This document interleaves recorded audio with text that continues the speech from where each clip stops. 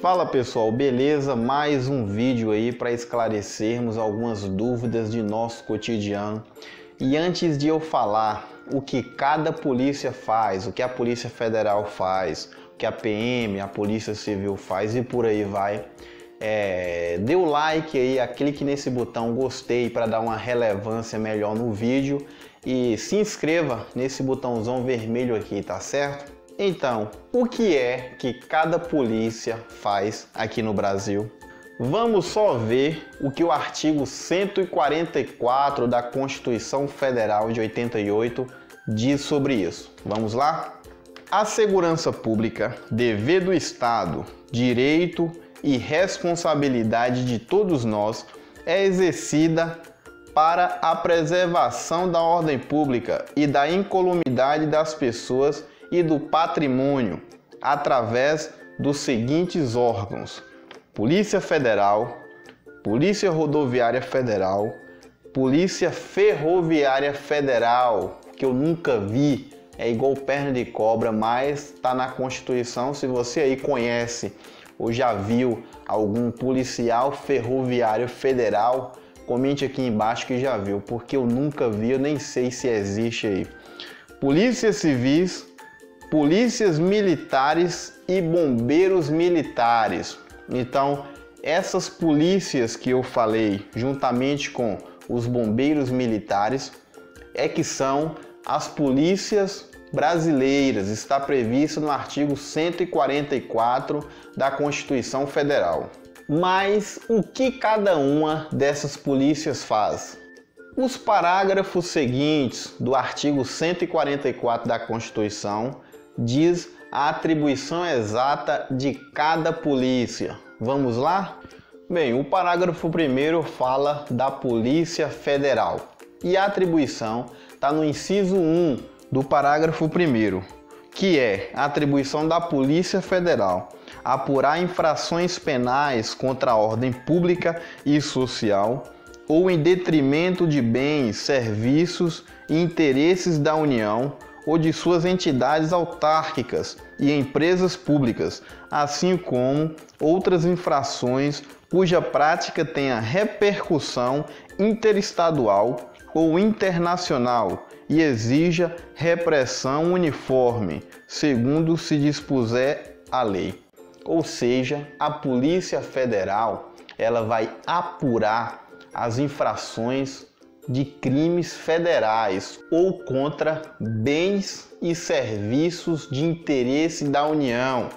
A exemplo, um assalto ao Banco da Caixa Econômica Federal. Como é um bem e serviço de interesse à União, a Polícia Federal que irá atuar nesse caso com investigações e não a Polícia Civil. O inciso 2 do mesmo parágrafo traz também outra atribuição da Polícia Federal, que é prevenir e reprimir o tráfico ilícito de entorpecentes e drogas afins, o contrabando e o descaminho, sem prejuízo da ação fazendária e de outros órgãos públicos nas respectivas áreas de competência. Já o inciso 3 diz: exercer as funções de polícia marítima, aeroportuária e de fronteira. É por isso que você vê no aeroporto quando vai viajar um policial federal e não um policial civil. E nas fronteiras também, né? Até porque se você pretende fazer o concurso da Polícia Federal e for aprovado, inicialmente aí você pode colocar aí que vai trabalhar no mínimo dois anos numa fronteira dessa. E por fim, o inciso 4 do parágrafo 1 do artigo 144 da Constituição diz que cabe à Polícia Federal exercer com exclusividade as funções de Polícia Judiciária da União. Então, foi o que eu falei. As investigações de crime federal, elas são feitas pela Polícia Federal. Já o parágrafo 2 do mesmo artigo diz respeito da competência, da atribuição da Polícia Rodoviária Federal. Vamos ver o que, que diz? A Polícia Rodoviária Federal, órgão permanente, organizado e mantido pela União e estruturado em carreira, destina-se na forma da lei ao patrulhamento ostensivo das rodovias federais. E o que é o patrulhamento ostensivo das rodovias federais? É aquele patrulhamento com a viatura caracterizada, todo mundo vê lá a viatura PRF com giroflex, sirene e fardado, que tem a finalidade de prevenir os crimes e também reprimir. Não se esqueça do detalhe: a PRF, Polícia Rodoviária Federal, eles só atuam em rodovia federal. Ele pode até atuar numa rodovia estadual, mas aí tem que ter convênio. Mas a competência precípua é para atuarem em rodovia federal, no caso do Brasil, BRs.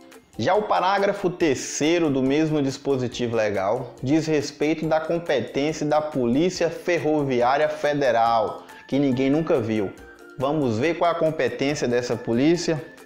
A Polícia Ferroviária Federal, órgão permanente organizado e mantido pela União e estruturado em carreira, destina-se na forma da lei ao patrulhamento ostensivo das ferrovias federais, ou seja, seria fazer a mesma coisa que a Polícia Rodoviária Federal faz nas rodovias, a Polícia Ferroviária Federal em tese, é para fazer nas ferrovias. Se bem que as ferrovias do Brasil estão todas sucateadas, né? infelizmente. Já o parágrafo 4 diz respeito da competência das polícias civis estaduais.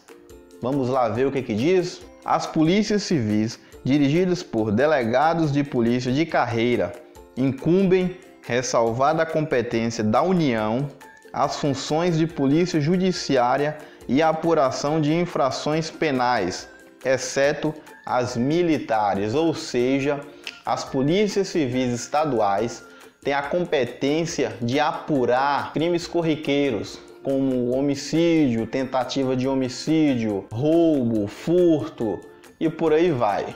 Uma observação aqui é que a Polícia Civil ela não atua, não investiga os crimes militares. Aí já é com a justiça militar. O parágrafo 6, por sua vez, diz respeito das competências da Polícia Militar e do Corpo de Bombeiro.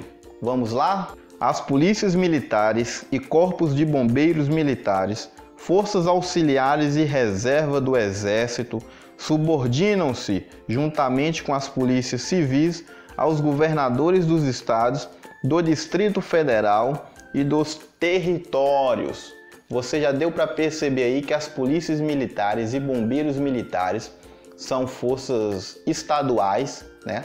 E auxiliares do exército. O que, que é isso? Quando o exército necessitar, as polícias militares e o corpo de bombeiros militares, eles serão convocados pelo exército para atuar juntamente com os seus homens, né, os soldados do exército. E são mantidas pelo Estado, subordinadas aos governadores estaduais e do Distrito Federal e territórios. A Polícia Militar tem a função de fazer o patrulhamento ostensivo das ruas, que é para prevenir, para quando o criminoso vê a presença da Polícia Militar, ele não atuar, ele pensar duas vezes antes de cometer um crime, e para reprimir, que é para quando o crime já foi cometido, chega a polícia militar para atuar. Então, diferentemente da polícia civil do estado, que vai investigar, ou seja, a polícia civil só vai atuar após o crime já ter ocorrido. E a polícia militar não, ela atua antes do crime ter ocorrido e durante o crime. Já o parágrafo 8 diz respeito das guardas municipais. Os municípios poderão constituir guardas municipais destinadas à proteção de seus bens, serviços e instalações conforme dispuser a lei.